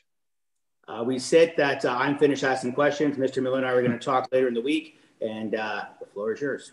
Okay, thanks, Councilor McCann. And apologies for that, members of the General Committee. Councillor Morales. Thank you, Mayor Lehman. Uh, Councillor McCann seems to be inspiring most of my questions tonight. Uh, Mr. Millar, uh, good points that Councillor McCann made about sur uh, annual surpluses. I know historically we don't like I'm just gonna say the elephant in the room. Some years we undertax, some years we overtax. I know it's an elephant in the room to kind of issue everybody a rebate uh, because you just put it back in reserves and you know you smooth out the you, you, you top up your reserves, you save for a rainy day, and you smooth out uh, the, with the gains and losses, and that's prudent fiscal policy. However, this year is unique. A lot of people are hurting. Uh, a lot of people are not paying the property taxes, and if they are, it's coming out of food. It's coming out of other things they should be doing uh, in their lives or to upkeep their property. Could you, when you bring the uh, business plan to us more formally in a couple weeks, I, I, I always like seeing the PowerPoint that goes, this is where we started, this is where we're going, this is what it shows. Could you have a line that after you do all the numbers that you do, essentially um, whatever the proposed tax increase is, and then subtract or how many percentage points would be taken off that if we took that surplus that Councillor McCann was talking about and just directly uh, put it into offset any uh, tax increases uh, to uh, the 2021 tax bill. So in a way, refunding people without actually sending checks, it's just taking it off whatever 2021 increase. Could we see a line item? Because I think that would get us to where Councillor McCann's talking about. And I know that's for, uh, you know, uh, people with uh, prudent fiscal policy don't want to make that a trend. But again, this is a unique year, and I think it would be at least prudent to look at what uh, impact that would have. Could you do that?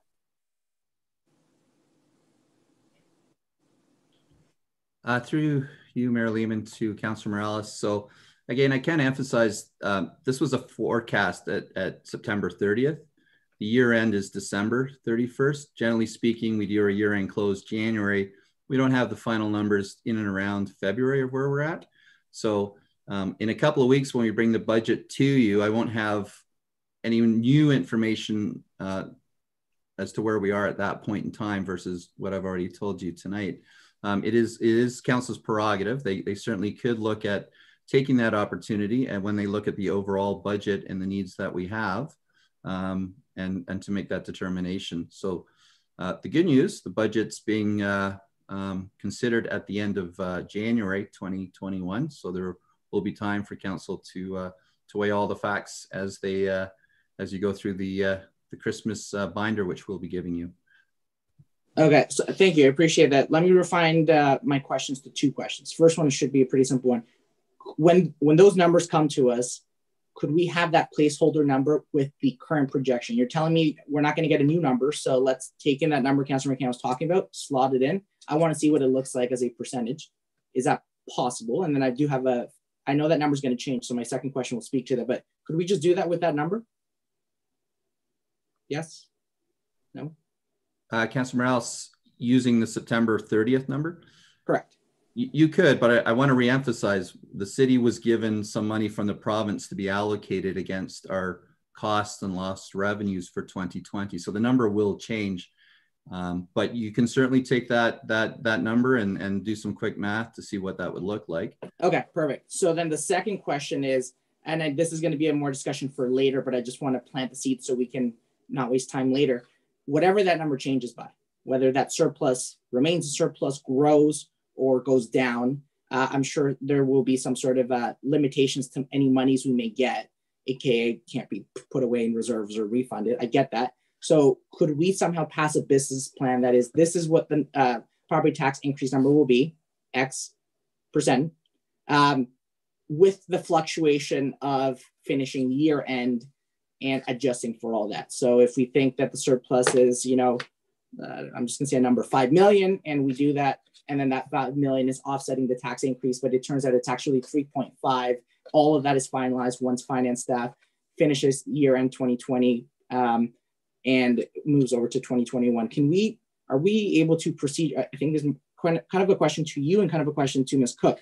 Can we pass a tax increase that is contingent on a projection and then adjust Actually, I just answered my own question. Of course we can. We already do that anyways because property tax um, bills are adjusted um, in the second, third quarter, depending on how much council increases it. So um, Ms. Cooke, could you speak just to the procedure of us doing that? Um, so, and when Mr. Millar's department finishes their year end, how would that look like as a motion? Like it would just be wording adjusted by actual versus projected?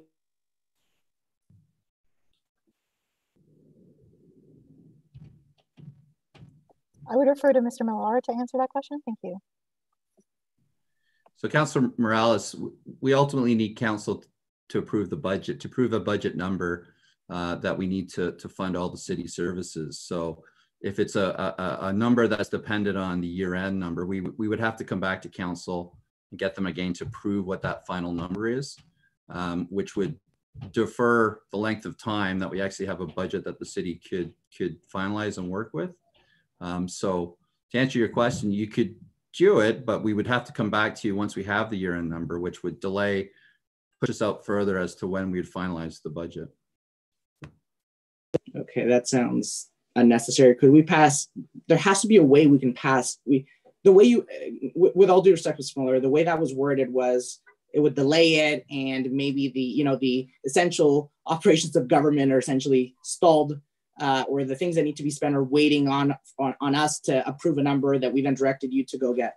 there has to be a way to keep the the wheels turning and for that amount to be finalized. So um, like I even saw some faces, some some counselors going like, wait, what? Like we would just have to wait and extend. There has to be a way to uh, to do that. Do you know of any other uh, municipalities that allow essentially government uh, the first two three weeks of January to continue uh, doing what they need to do, the vitals, the sorry, the essentials, uh, while still waiting for uh, finance to finalize year end?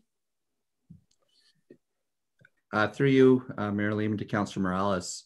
Um, again, it's, it's council's prerogative. You could pass the budget that way, certainly could. Um, we would we would continue to operate, but we would come back to you once we had the final number. Um, if if you were giving us a range to make sure we had the clear direction to uh, to pass the budget. Okay, thank you, Mr. Lair. Uh, thank you uh, for the time afforded, Mayor Lehman. Um, Mr. Councilor McCann, I think I think you're onto something with your initial point. And for members of council, uh, even the ones that are new to this term, we've passed budgets in January, February, way before. So this December timeline is something new. I like it, but it wouldn't be the end of the world. And if, if it means we afforded our residents a substantial decrease in their a substantial decrease in their potential future increase, um, it's definitely worth looking into. Thank you, Mayor Lehman. Thanks, Councilor Morales. So just to um, reinforce, I think, some of the key timelines and issues around uh, uh, both here and Councilor McCann's uh, comments. Uh, budget approval at the end of January, uh, you know, I think in, in years past, uh, we have had a reasonable understanding of what a surplus or deficit would be by then. The question really is whether or not it's appropriate to allocate that to um, uh, tax reduction or not. Uh, our surplus policy has said let's use that to fix more roads uh, when we have a surplus uh, through the infrastructure contribution to the infrastructure um, uh, reserve. Uh, that's council's choice, and I think um, there will be a live discussion, I'm sure, this year about what we ask of our residents. And um, but I think on the issue of will we have information by then that is able to allow us to use surplus or deficit from 2019 against the issue in 2020 or, or from 2020 against 21? I think that's a that's legit and important. And in no small part, Councillor Kungl, Deputy Mayor Ward, and Councillor Riepma and I have been on Human Services Committee of the county. Um, the county is coming to the city for 7.7% more than last year. Uh, and that's a that's a substantial amount of funding. And when I I, I asked questions about that, um, the primary cause is an increase in long-term care costs, which I think all of us who've watched what's happened during COVID can understand why uh, the county wants to spend more on staffing and, and um, long-term care. Uh, that being said, it's a substantial bill for the city. Um, one of the uh, answers from county staff around how can the city pay for this was safe restart funding. So I guess the reason I raised that specific issue is first of all to give general committee some visibility to the fact that we're going to have um, the, at least the county, if not others, come to us for far more of a percentage increase than we are likely willing to pass on to our residents. And uh, as a consequence, uh, there's either going to need to be some give elsewhere, which has been traditionally how we've handled things. And, and I'm not sure we've served our own organization very well when we do that. Uh, or we're going to need to apply things like the $6 million of safe restart funding towards the COVID related costs that we're getting charged. And, uh, you know, where we're picking up uh, uh a wage bill, which, you know, I absolutely support the need to pay PSWs uh, more, to have more staff in long term care. Uh, I, you know, wholeheartedly. But there is a bill for that. And if the province isn't going to pay it, then the county and the city and the city of Orillia are going to pay it in, in uh, Simcoe County or going to be asked to pay it. So uh, all of which I raise uh, also by way of, as the two of you uh, have noted, sort of a heads up as to some of the budget pressures that are coming. But also in this discussion around the safe restart funding and surplus or deficit from this year, maybe don't count your chickens because I think there's going to be a year end reckoning and a 2021 bill uh, for COVID that we don't fully know yet. And while I would agree that if uh, if things turn out as well as this Q3 report seems to indicate, I mean, I'll tell you, I was blown away that tax arrears are actually lower uh, than in a non-COVID year. um, you know, all of the forecasting that that uh, I think municipal treasurers rightly did early in COVID uh, assumed that it, there would be a substantial increase in tax arrears. Tax arrears are down in our in the staff report itself. The the percentage arrears are are lower than our forecast. So, uh, thank you to all those out there who have made the effort, and perhaps it reflects the other economic strength that we've been hearing about from the real estate industry and from uh, the labor market stats and so on. But all of which to indicate, I think by the end of the year, we will have a much stronger sense of how much COVID has cost the municipality, what it's going to cost the municipality. Uh, and then um, it will be on us to make those tough decisions around uh, how do we keep those costs off our residents? Uh, because certainly I would agree that um, at the household level, uh, we should not be expecting property tax to cover costs of COVID, um, notwithstanding the, the, the realities of, of trying to deliver services in, in that environment. Um, any other questions on this staff report? Uh, Councillor Harvey. Actually, my first question, Your Worship, will be actually on what you just spoke about, just to sure. get a little clear, more clarity, because I know I read the article that uh, hit the newspapers also uh, in regards to the county's request. And uh, the part that I found a little peculiar was it was the only the two separated cities that were going to see this increase, and everybody else was going to be at a zero percent. Uh, just wondering if you have any color as to how that could be, because uh, it seemed especially ours is 7.7 whereas Orillia was like 16.9 and yeah. it just seems odd that the rest of the county's at zero. Yeah i'll give you my quick answer and mr millar or, or deputy mayor ward may be able to to uh, augment it if i get anything wrong as I understand it, there's two reasons, Councillor Harvey. One is the uh, funding formula. Of course, the city pays for social services and human services through a, a, formula that's partly based on assessment, weighted assessment, and partly based on caseload, uh, whether it's Ontario Works caseload or the number of people in long-term care from Barrie and so forth. And uh, as I understand it, the way the math works out, um, it is not to our advantage. And then the second uh, reason for it is because we only fund human services at the county, not corporate services, roads, forestry, garbage, all those other things, which Barrie doesn't participate in. Um, the human services part of the county budget, because of long-term care paramedics and an anticipated increase in social services, that's the part of the county budget that's way up. If we were participating in the global county budget, uh, we wouldn't face such an increase. Uh, and I guess the reason that resonated was because Orillia's extremely high number uh, is in part because they actually have a lot more residents of Aurelia in county long-term care homes than we have Barrie residents. There's a, a relatively small number. Um, Mr. Millar, uh, would you be able to provide any more uh, uh, color on that answer? Uh, to, uh, to you, Mayor Lehman, I, I don't have a lot of additional information to share. I, I, I would suggest the number will be uh, less than, slightly less than, than what was uh, written about in the papers, just because of how we fund some of our uh, capital contributions to the county. But uh, it's, it's certainly, certainly an increase. And when you get your binders in a few weeks, you'll be able to, to dig right in there. Deputy Mayor Ward. Uh, just two additional points. One is the one you already mentioned. The county is taking some of their COVID money from the province and applying it to reduce the increase. And the other one is the county mentioned they're taking money from reserves to pay for things, which means their overall increase is zero. I mean, we can take money from reserves too, but it's not shown in the figure that we get from the county, the bill we get from the county. Councillor Harvey. Yep. Thank you, Worship. Uh, just one last question for Mr. Millar. Um, I know we've received phase one funding, which I believe was like 6.8 million.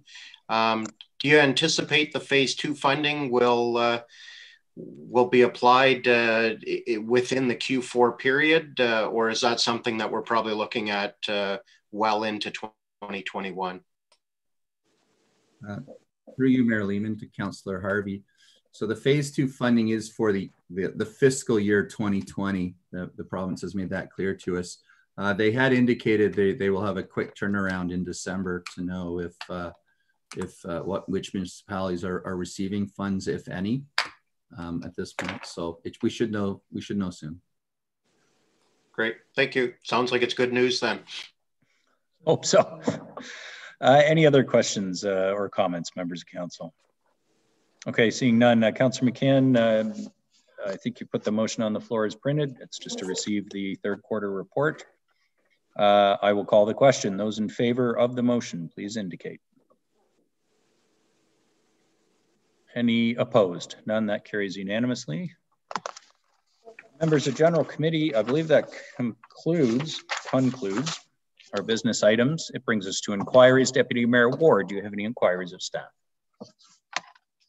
I actually do have one. I didn't uh, give him a heads up, but just that question that somebody asked me this today and I was sure the answer to it.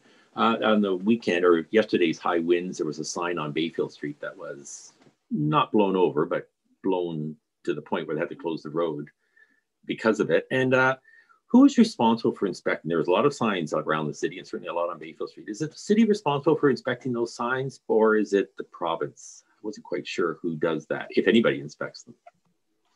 I'm going to ask Dawn McAlpine uh, if she can answer that question. they can get because back, I'm going to guess with the answer if they don't know it. Yeah, uh, Ms. McAlpine, would you happen to know? Thank you, Mayor Lehman, and through you to Deputy Mayor Ward. I believe the sign in particular is the responsibility of the province. Other signs would be the responsibility of the property owner if they're on private property. Right. Um, yeah, we don't inspect. We inspect them, I guess, when they go up, but after they're up, we don't do have anything to do with the signs, correct? Unless there's a complaint with respect to the sign perhaps being moved or enlarged or altered in some way, we would not uh, be involved in inspecting them. Okay, thank you very much. Thank you, Deputy Mayor Ward. Any other inquiries of staff? Okay, seeing none. Uh, announcements, Deputy Mayor Ward. Uh, I guess it's not going to be confirmed until next week, but I just wanted to uh, say I appreciate being uh, being nominated for deputy mayor for the next two years, Mayor Lehman, and uh, thank you for council for supporting it uh, unanimously on consent. Thank you very much. I appreciate it. I've enjoyed the role, and I look forward to doing it for the next two years. Well, uh, thank you, Deputy Mayor Ward. You did steal my thunder a little bit on that one, but um, we appreciate uh, your service and, and your continued willingness to serve. Uh, are there other announcements, of members of General Committee? Councillor Aylwin and then Councillor Jim Harris. Thank you, Mayor Lehman. Uh, I have a couple. Um, so the first, uh, it felt weird announcing this a week ago because it felt like summer outside. But tonight it feels less weird because we're certainly feeling a taste of winter today. So Noella is happening in downtown Barrie coming up in the holiday season. Uh, and just because the Santa Claus parade uh, is not happening this year and the tree lighting is not happening this year, uh, doesn't mean that there aren't a lot of fun things to do in our downtown and do them safely.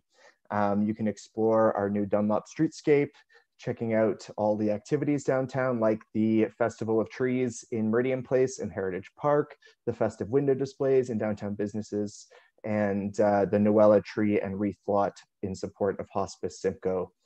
Um, so you can stay up to date on all things Noella by visiting noella.downtownbarrie.ca or by following social media of Downtown Barrie at Downtown Barrie.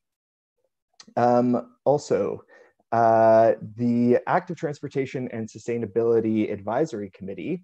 Uh, it's a really fun committee. We are a great group and we talk about a lot of really interesting topics. We have a vacancy. So uh, members of the public are welcome to apply for the vacancy um, and they can go to the city website or uh, to my website, keenan.ca to find the link to apply. Um, and you can submit it through email or by mail uh, on the website. So go to keenan.ca and find the link to apply to the Active Transportation and Sustainability Advisory Committee. And then finally, uh, I have an announcement uh, about the MacLaren Art Center's auction that's happening right now. Um, so for the last almost 30 years, uh, the community has participated in the MacLaren Art Center's annual art auction. Um, it's going to look a little different this year uh, because it is online. So there's a two week exhibition of artwork in a range of styles by artists uh, from our region to view. Uh, you can view it in person uh, or safely online. So you have five days to bid virtually from anywhere, anytime. Um, and all of the items up for bid will be available to preview on the art auction portal. So they can go to maclarenart.com to learn more about that. That's happening from uh, today, November 16th to the 27th. Thanks, Mayor Lehman. Thank you very much, Councillor Aylwin. Uh, Councillor Jim Harris. Uh, thank you, Mayor Lehman. Uh, so just wanted to announce that there is a town hall meeting for Ward 8 uh, scheduled, a virtual town hall that is, uh, scheduled for Wednesday, November 25th, 7 p.m. Uh, Mayor Lehman will be there, I will be there, and representatives from Barrie Police will be there as well. So uh, please register at the City of Barrie website. Also, the Facebook page has details as well. Thank you.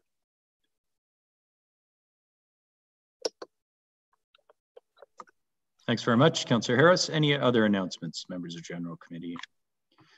Okay, I have a few. Uh, I would like to proclaim November 18th as a Santa to a Senior Day and November 19th as Children's Grief Awareness Day, and it's also Pancreatic Cancer Day uh, in the city of Barrie. And thank you to all the organizations who continue to do good work uh, around these important causes. Uh, well, we've already had some discussion tonight about the budget, and we have already had tremendous take up from the residents of Barrie uh, on the use of the budget allocator tool on our website. Huge number of comments. Uh, when I checked in earlier today, uh, Ms. James Reed had indicated we've already had over 300 people use that and provide comments. Uh, thank you for to those. Um, please do check it out on the city's website. It will be open until uh, late December uh, to give us your feedback at buildingbarrie.ca. Uh, this is one of the, you know, often, often some of the best stuff that the city does uh, is just about connecting people. Uh, and then good things happen. Snow Angels Canada is a very good example of this. So for years, we've had the issue uh, in a, a, city that gets more than its fair share of snow in the winter. Uh, when we plow in the end of people's driveways, there are people out there who cannot manage. And we've struggled with how to address that as a city. Uh, Snow Angels is a volunteer program that connects volunteers with those who need a little help removing snow. It's an online platform uh, where people who do that, who need that assistance, can post a request for service, and volunteers in their area can reach out to help. This is one of the best things you can do to help your neighbors. Uh, and in this year, when we're all uh, particularly focused on how we can help one each one another out, I really would encourage the residents of Barrie to participate in Snow Angels. It's a wonderful way to help your neighbor. SnowAngelsCanada.ca. Uh, on a related note, unfortunately, the on-street parking restrictions will take effect on December 1st. I mention it now because it's November 16th, which gives you, like me, two weeks to finish clearing out your garage of all the crap that we build up in there over the summer. So if you uh, uh, are are uh, thinking ahead, you've got about uh, two more weeks until we need to get our cars off the street. Uh, that is so that the city will be able to plow. Uh, we hope we won't have to do it before then, but if we do, we will declare a winter maintenance event and you will hear about it on social media and traditional media. And you may have to get your car off the street before the first. We'll hope not. We'll hope this warm uh, November continues and we don't get too much tonight. We haven't declared for tonight, by the way. I had a few people ask me today. Uh, we're hoping that the snow squalls that we do get won't be too much of an accumulation and it is supposed to be nice and warm later in the week. But there's your fair warning. Two more weeks and then uh, we do need everybody to get their cars off the street overnight. Uh, we are accepting nominations right now for the Mayor's Innovation Awards to celebrate businesses, individuals, and community groups who have tried to, who have pivoted during uh, COVID and uh, those who continue to deliver innovative models uh, to move their businesses and groups forward. Uh, the deadline for submission is December 17th. There is more information about this on InvestBarrie's website, investbarrie.ca slash innovation awards. Uh, and I would also note the new official plan and citywide urban design guidelines are up for comment until December 22nd, and that one is at buildingbarrie.ca. Uh, last tonight, just a quick note on, uh, on COVID. Um, we did see a big number today, uh, although uh, a note, as always, uh, the health unit reports three days worth of data on Mondays. So the very large caseload number you saw today is three days worth of data. But there is no question cases are trending up. Uh, and although our caseload numbers might not be trending up as quickly as some areas in the GTA, uh, it they continue to trend up. Um, uh, I want to also note, though, today, um, you know, there was some very optimistic and important news about a second vaccine. And I think, you know, a lot of people are waiting for that news. But what it means, and, and I think the important thing it means is there is light at the end of the tunnel. There will be a vaccine, there will be an end to COVID, but it's still many months away. And the choice as to what happens between now and then still remains with all of us. So our job between now and whenever that vaccine becomes broadly available is to save as many lives as we can. And that is what we are doing by continuing to practice distancing and trying to fight the spread. And we're also supporting our frontline health workers uh, because this is all one province. And as we have seen uh, the spread move from just Toronto and Peel to now York and Halton, uh, we are nearby. And it is going to be uh, doubly important over the coming months uh, that we try and keep the uh, spread of this virus as contained as we can and protect our more vulnerable residents, particularly our seniors. So we're in the yellow zone. Thank you to city staff and uh, uh, Rebecca James Reed and her team for putting out uh, the press release late last week to explain a little bit of what yellow means. Uh, it, it's similar to what was in place before, but just to reinforce, gatherings are limited to 10 indoors and 25 outdoors. But the health unit strongly advises people only have close contact with their direct household. And that remains one of the major areas of concern. Uh, workplace screenings must take place in the yellow zone. Face coverings are required in all indoor public spaces at workplaces and are recommended in places where physical distancing is not possible um, restrict non-essential travel, uh, monitor for symptoms, and of course, stay home if you're sick. Uh, there are some a few additional restrictions on local bars and restaurants, although they do remain open, uh, but must follow strict protocols to ensure patron safety. Uh, and all of these details, of course, oh, sorry, I should also note our rec centers have to introduce some additional uh, precautions and restrictions. So there are some changes at our rec centers. If like me, you're, you're in regularly, you will notice some differences in, you know, you're probably getting used to answering the questions, signing in at the front and uh, how uh, we can, can use different parts of those buildings. There will be some changes that you may notice if you haven't been in the last week or two. Uh, all the information on the um, restrictions is on the health unit's website and please continue to refer to that uh, single uh, and most important source of, of information about what is and isn't required locally and why. Uh, simcoemuskokahealth.org. Okay, uh, circulation lists. Any comments on the circulation lists, uh, members of General Committee? First, November 9th. Any items from November 9th? Nope. Uh, how about November 16th, tonight's? Councillor Riepma. Thank you, Mr. Mayor. Um, there's an item uh, on, on today's, and that is uh, C7, which is the letter from um, the Nottawasaga Valley Conservation Authority. And we've received a similar letter from uh, the Simcoe uh, Region Conservation Authority as well. Um, so I'd just like to um, move that to our next general committee meeting for uh, discussion and adoption, maybe if we can. Okay, uh, that is, uh, we don't require a vote for that uh, to put it on the agenda. So Madam Clerk, uh, Councillor Riepma's item can be added as an item for discussion or at least that correspondence. Yes, Mayor Lehman. Thank you very much. Uh, any other comments in the circulation list? Okay, seeing none, that completes General Committee's meeting agenda. City Council is next week uh, on the 23rd. And of course, tomorrow night we have Finance and Corporate Services Committee. So we will see some, if not all of you tomorrow night, and City Council will return Monday night. Thanks, everybody. Good night. Oh, Madam Clerk. Oh, good thing. We are supposed to go into planning right now. Sorry, uh, my apologies. Planning committee starts immediately following. I, I was I was doing my wrap up agenda. Uh, so um, we will do you need a recess uh, before we begin the planning committee agenda?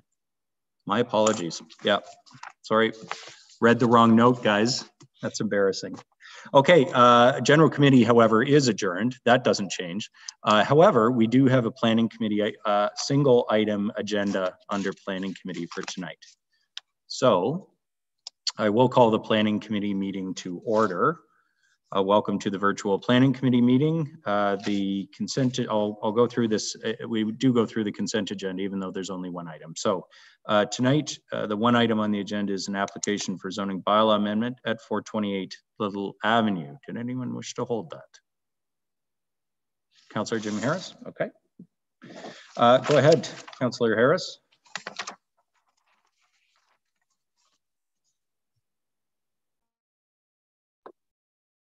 Okay, thank you, Renee. I'm just trying to find my notes moving from one committee uh, to the next. And my screen is freezing, so. It is freezing. Okay.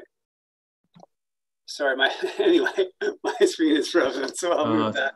We uh, can still hear you. We can still hear you fine, Jim. Yeah, I was just trying to find my notes on my iPad, but it's it's frozen. But I, but I I think I have my notes uh, in my in my memory is as good as I need to anyway. So thank you. I'll go with that. Um, uh, Mary a question through you to um, Miss Banfield. Um, this um, particular development, um, you know, certainly with reading what's been done between uh, today and uh, this report and the public and community meetings, obviously mitigated uh, the issues that were primary for residents.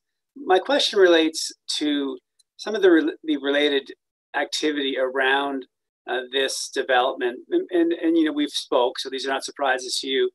You know, the condition of Foster as, as one of the roads that would be an entry point to uh, this development, even through the construction period or phase. As we as we sit today, uh, Foster is rated as poor on the pavement condition index. It's already a really really bad road, old cottage road, narrow, really um, difficult to pass with two cars today, let alone um, as a busier street. Um, I was surprised by the modest volumes projected in the in the uh, traffic study, but that's a, a, a, different item. But just wondered if you could speak to first and foremost um, the potential for doing something uh, for Foster. And I know we spoke as well about the urbanization, uh, which is uh, scheduled for this area, which unfortunately I've uh, heard today has been delayed by two years, putting it back to 2025 as a as a starting point, and then a, a beginning of construction in 2030. So it's way out there. So I wonder if you could speak to first and foremost, and maybe those are my two questions, and I've already said them, but one, uh, the potential for doing something with the road in the interim, and two, the possibility of linking the urbanization of the area, McLaren and and uh, Foster and Yates to the development at uh, Little. Well, thank you. Good questions, Ms. Banfield through you, Mayor Lehman, to Councillor Jim Harris. So I'll just kind of rhyme off some answers to you. So as it relates to this development, it can proceed with uh, servicing off of Little, and it will be on full municipal services. As it relates to the traffic for this development, uh, it has um, there's two access points uh, for this proposal uh, so they'll be able to have the right in right out off of little but then um, also uh, the the other entrance uh, and at the same time when it does co come time to develop they will have to the applicants will have to give us a construction management plan that tends to happen around site plan time to look at kind of some all of those things that that you talked about as it relates to the overall infrastructure for the area and infrastructure improvements, um, at the time of writing the staff report and the current capital plan, the 2020 capital plan had those dates that are referenced in the staff report. And uh, you're right, in a couple of months or, a month or so, uh, council is going to be presented with a 2021 capital plan that is proposing of a, a, a, further a deferral of these projects for a couple of years, as you've referenced. Um, but that will be before council to uh, to make those decisions. Um, council or city building heard of a very similar issue a couple of weeks ago, and there is the option potentially for some um, pavement improvements, some interim pavement improvements. Um, at this point, that's not in the capital plan. Those aren't cheap improvements, uh, regardless. Um, that's not in the plan right now, but that is something, again, that council will be. Um, able to uh, review and consider along uh, with the broader budget discussions. So I hope those are all your points there.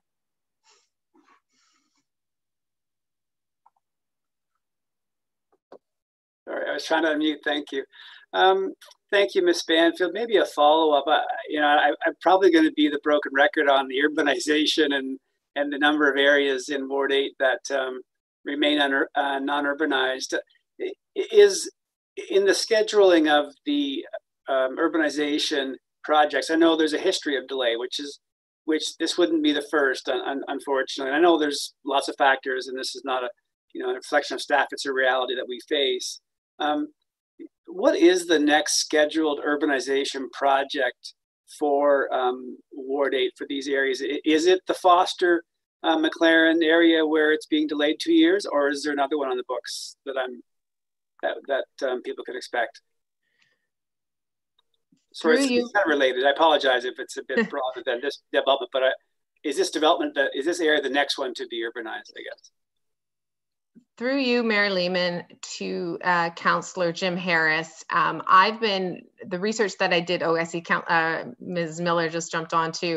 Um, I was advised that this is an area that absolutely is a priority. Um, but uh, so I'm not sure kind of what the actual order is, but but definitely know this is a priority. And I'm not sure, Ms. Miller may want to chime in. Through Mayor Lehman to Councillor Jim Harris, uh, uh, the staff in the capital or corporate asset management team um, can certainly give you a report back on um, uh, the different uh, locations for those urbanization projects. Um, they're, uh, they're dealt with through that department. I mean, thank you, Ms. Miller. Thank you, Ms. Banfield. And I just, when I look at the items that came up through this discussion, you know, really the potential opportunity, the hope for there being some leveraging to initiate the urbanization was certainly one of the key items that came out of this to residents. And actually, it's the one item that I've received the most comment on. To be honest, I haven't received comment on other items uh, related to the initial concerns uh, that came up um, since since the um, the public meeting. Uh, but I have received and I have been on site to meet with residents uh, McLaren about the urbanization opportunity and and so that's you know, for the, the, the reason for pursuing this particular element uh, and appreciate what's been done to, to mitigate the other issues as far as the setbacks on McLaren and, and uh, those type of items uh, and the tree management, those kind of things that were done effectively with the plan. But that really is the key item for residents. I want to make sure that that was noted and, and hopefully we can do some things to move you know, more and more citizens to full service and urbanized neighborhoods that uh, we all uh, expect and hope for in our community. So thank you. Thanks very much, uh, Councillor Harris. Um, uh, you had held the item. I'm assuming it's on the floor as printed. Yeah, pardon me, Mayor Lehman. Yes, on the on the floor as printed. Thank you. Okay. Uh, any other comments, members of Planning Committee? Uh, I would just say uh, I do appreciate that, uh, as the ward councillor said, a number of the concerns with this uh, particular development uh, were addressed. So, but um, you know, many of the neighborhoods concerns, uh, I can remember knocking doors on Foster Drive and people talking about when the road was built in the township of Innisfil. we're back that far, right? Um, so, and I think it does beg the question. You know, this is a rare case of, of redevelopment occurring in an area that hasn't even yet been fully urbanized, despite decades within the city of Barrie. It's one of those few remaining pockets. So it's a, it's a very good point, uh, Councillor Harris, around uh, can that urbanization be tied to development when the, when this kind of a situation occurs, and uh, and something that we should look at uh, when the budget comes forward, the capital plan in uh, in a few weeks' time for sure. Uh, so the motion's on the floor is printed. Uh, if no other comments or questions, I will call the question. Those in favor of the motion, please indicate. Or any opposed? None, that carries. Uh, and that completes Planning Committee's agenda. Uh, members of Planning Committee, thank you. This item will also go forward to City Council. Madam Clerk, is it uh, for Monday as well? Yes, ma'am. Okay, thanks for that.